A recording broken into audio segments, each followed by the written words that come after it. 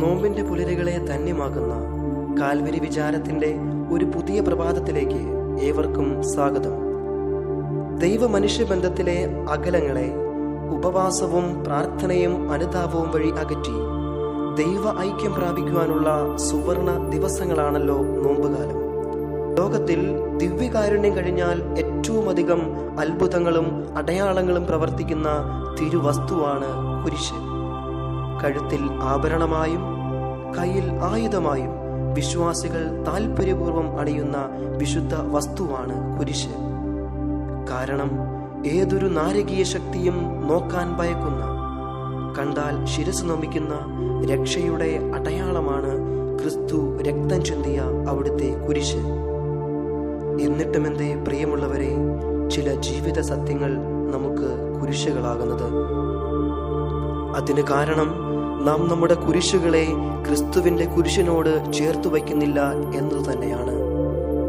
ഇപ്രകാരം തങ്ങൾക്ക് കൈപ്പേകുന്നവയൊക്കെ കുരിശുകളായി ചിത്രീകരിക്കുന്നവർ വിസ്മരിക്കുന്നത് കുരിശിന്റെ യഥാർത്ഥ ചൈതന്യത്തെയാണ്.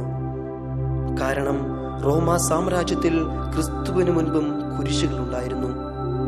അപമാനത്തിന്റെ നിന്ദനത്തിന്റെ മരണത്തിന്റെ പ്രതീകമായി. എന്നാൽ ക്രിസ്തു അതിൽ ജീവൻ അർപ്പിച്ച് തന്റെ ശതങ്ങളാൽ തീർത്തും വ്യത്യസ്തമായ നവീനമായ സൗഖ്യത്തിന്റെ ശക്തിയുടെയും ജീവന്റെയും അടയാളമാക്കി അതിനെ ഉയർത്തി.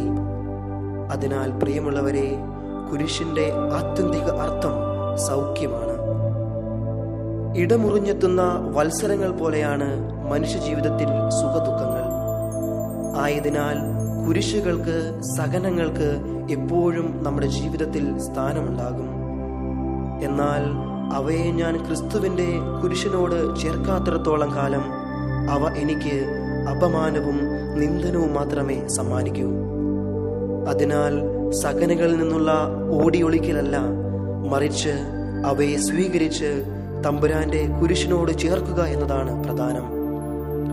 അപ്പോൾ നമ്മുടെ വേദനകൾ സൗഖ്യത്തിന്റെ വേദികളായി മാറും. ഇതാണ് ക്രിസ്തുവിന്റെ കുരിശിന്റെ ആധ്യാത്മികത.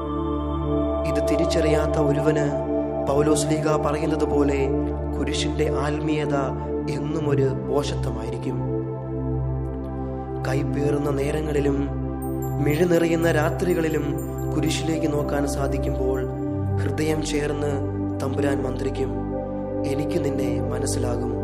ഐ ക്യാൻ അണ്ടർസ്റ്റാൻഡ് യു എനിക്ക് നിന്നെ സുഖപ്പെടുത്താനാകും. ഐ ക്യാൻ ഹീൽ യു അതിനാൽ തിരസ്കരിക്കപ്പെടുന്ന മുറിവേക്കപ്പെടുന്ന ഓരോ നിമിഷങ്ങളിലും കുരിശിലേക്ക് നോക്കി പരിഹാര വഴിയിലെ പതിനാലാം സ്ഥലം കണക്കെ തീരുന്നതല്ല ഈ ജീവിതം.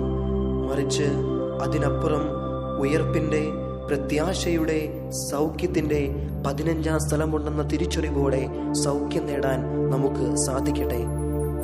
ഇനി എന്റെ വ്യക്തി ജീവിതത്തിലെ സഹനങ്ങളെ കുരിശുകളെ തമ്പുരാന്റെ കുരിശിനോട് ചേർത്ത് സൗഖ്യം പ്രാപിക്കുന്നത് പോലെ നമ്മുടെ കൊച്ചു ജീവിതങ്ങളും നമ്മുടെ ജീവിത പങ്കാളികൾക്കും മക്കൾക്കും മാതാപിതാക്കൾക്കും സഹോദരങ്ങൾക്കും സഹപ്രവർത്തകർക്കും സൗഖ്യമേകുന്നതാകാൻ സാന്ത്വനം പകരുന്നതാകാൻ നമുക്ക് പരിശ്രമിക്കാം. ഒപ്പം ജീവിത പ്രശ്നങ്ങളെ കുരിശുകളായി ചിത്രീകരിക്കുന്നവർ കുരിശിന്റെ ആന്തരിക അർത്ഥമായ സൗഖ്യത്തെ ഒരിക്കലും വിസ്മരിക്കാൻ ഇടയാകരുത് എന്ന പ്രാർത്ഥനയോടെ തന്റെ ക്ഷതങ്ങളാൽ നമ്മെ സൗഖ്യപ്പെടുത്തിയവനെ ധ്യാനിച്ചുകൊണ്ട് ഹൃദയത്തിൽ ഏറ്റുപറയാൻ സാധിക്കട്ടെ. ക്രൂശിതനായ കർത്താവെ അങ്ങയുടെ തിരുമുറിവുകൾ എന്റെ ഹൃദയത്തിലും പതിപ്പിച്ചുറപ്പിക്കണമേ. സൗഖ്യം നൽകണമേ. ആമേൻ. ദൈവം നമ്മെ എല്ലാവരെയും സമൃദ്ധമായി അനുഗ്രഹിക്കട്ടെ.